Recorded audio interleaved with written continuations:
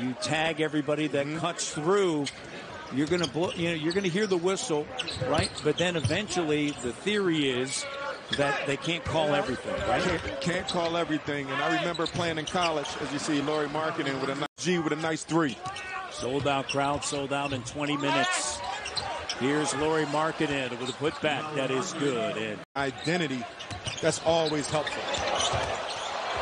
Brett digging in.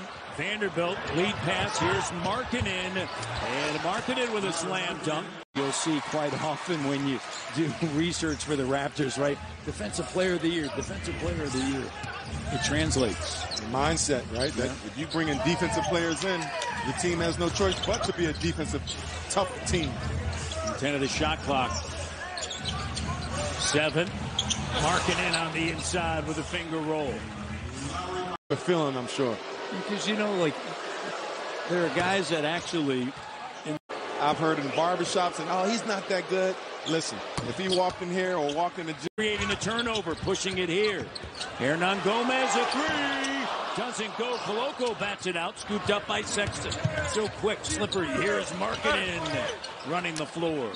You step up to the line, it's routine.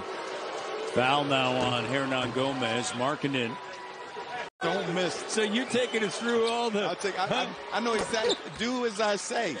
the 905 shadowed me last year, but I think I think she might have heard me on the broadcast a few times and, and thought different. Redirected that thought.